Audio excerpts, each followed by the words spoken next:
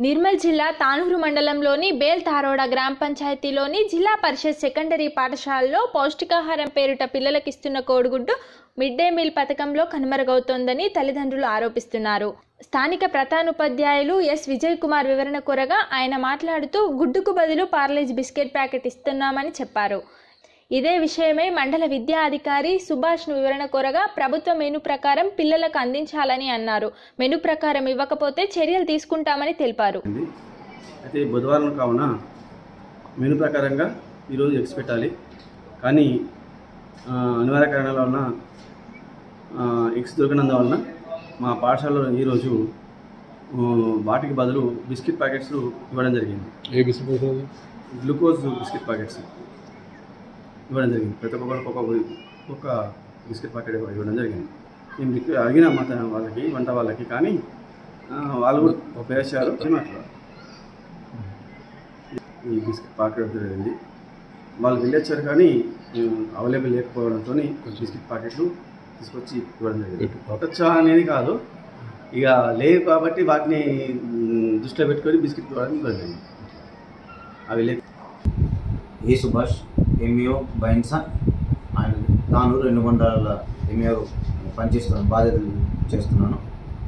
ఏదైతే మరి మా దృష్టికి తీసుకొచ్చారో మధ్యాహ్న భోజనంలో అక్కడక్కడ కొన్ని పాఠశాలలో మెను పాటిస్తలేరో. మరి మీరేదైతే మా దృష్టికి తీసుకొచ్చారో దానికి ఖచ్చితంగా ఆ పాఠశాలలో మరి మధ్యాహ్న భోజనం సంబంధించిన మెనూని ఖచ్చితంగా అమలయ్యే దిశగా ఖచ్చితంగా ప్రతి ప్రధానోపాధ్యాయులకు సూచనలు ఇస్తూ తగు చర్యలు కూడా తీసుకోవడం జరుగుతుంది. ముఖ్యంగా మనకి ఏంటంటే ఈ వారం రోజులలో మనకి మన్ సోమవారం నుంచి శనివారం వరకు దాదాపు ఎగ్ అనేది ఆ రోజు తప్పించి రోజు ఎగ్ ఉంటుంది. మిగతా రోజులలో సోమవారం రోజు వెజిటేబుల్ ఎగ్ అదేవిధంగా మంగళవారం రోజు దాల్ మరి వెజిటేబుల్ అదేవిధంగా బుధవారం రోజు ఎగ్ వెజిటేబుల్ కర్రీ గురువారం రోజు మరి సాంబారు వెజిటేబుల్ కర్రీ అదేవిధంగా గురువారం గురువారం శుక్రవారం రోజు ఎగ్ మరి మిగతా వెజిటేబుల్ కర్రీ. ఆ శనివారం రోజు మనకు వెజిటేబుల్ బిర్యానీ అనేది ఇవ్వడం జరుగుతున్నది మెనూలో. అయితే మరి మీరు ఏదైతే అంటున్నారో అప్పుడు ఈరోజు మీరు విజిట్ చేసిన స్కూళ్ళలో ఎగ్ ఇవ్వలేరని మరి ఖచ్చితంగా నెక్స్ట్ రేపు మరి ఆ పాఠశాలకు తగు సూచనలు ఇస్తే హెడ్ మాస్టర్ని సంప్రదించి. ఖచ్చితంగా ఇక నుంచి వారంలో మూడు సార్లు మన మిడ్ డే మీల్స్ మెనూ పాటిస్తూ ఆ విధంగా నిర్మల్ జిల్లా బైన్సా మండలంలోని వలేగాం గ్రామంలో పోచమ్మ గుడి మరియు మహాలక్ష్మి దేవాలయంలో విగ్రహ ప్రతిష్టాపన చేశారు. గ్రామ మహిళలు గ్రామ దేవతలకు బోనాలు సమర్పించారు. ఇటీవల కురిసిన భారీ వర్షాలకు ప్రజలు రైతులు ఇబ్బందులు పడ్డారని దీనంతటికీ అమ్మవారి ఆగ్రహమే కారణమని భావించిన గ్రామస్తులు అమ్మవారిని ప్రసన్నం చేసుకోవడానికి ఊరంతా తరలివచ్చారు. విలేజ్లో టెంపుల్ ఎనిమిదవ డేట్ పది నెల ప్రతిష్టాపన చేశాము ఈరోజు ఊరు పండుగ మొత్తం మేకలతో సహా పోతేమ్మ సహా పండుగ నిర్వహించాము అందరూ మంచిగా వాలేగాం ఎంపీటీసీ నేను.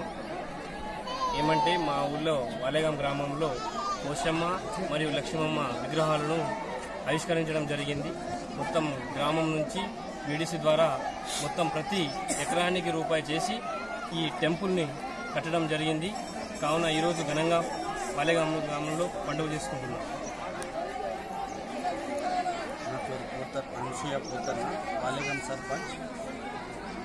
మాది పోచమ్మ మహాలక్ష్మమ్మ మందిర్లు. శిథిల వ్యవస్థలో ఉండే గత నలభై సంవత్సరాల నుంచి శిథిల వ్యవస్థకు వచ్చినప్పుడు దీనికి మా యువకులందరూ మా కమిటీ మెంబర్లు ఇది- ఇది చేసి నిర్ణయించి కొత్తగా కొత్త విగ్రహాలు కొత్త టెంపుల్లు నిర్మ నిర్మించాలని అనుకొని ఎకరానికి ఎంతో కొంత రైతులతో రైతుల దగ్గరికి వెళ్ళి తీసుకొని డబ్బులు విలేజ్ కమిటీ ద్వారా మేము ఈ మందిర్లు నిర్మించుకోవడం జరిగింది. దీనికి మాకు దేవుడు ఎల్లవేళలా సుఖ సంతోషాలు ఉంచాలని మా గ్రామస్తులకు మేము కోరుకుంటున్నాము పెద్దపల్లి జిల్లా రామగుండం పోలీస్ కమిషనరేట్ ఆవరణలో పోలీస్ అమరవీరుల సంస్మరణ దినోత్సవాన్ని ఘనంగా నిర్వహించారు. ఈ కార్యక్రమానికి ముఖ్య అతిథిగా commissionerate DCP admin Ashok Kumar పాల్గొని ప్రత్యేక పోలీస్ బలగాలతో గౌరవ వందనం స్వీకరించారు. అనంతరం జ్యోతి ప్రజ్వలన చేసి పోలీస్ అమరవీరుల స్మారక స్తూపానికి నివాళులర్పించారు. పోలీస్ కమమరేషన్ డే అనేది మనకి నైన్టీన్ సిక్స్టీ నుంచి స్టార్ట్ అయింది ఆ రోజు నుంచి.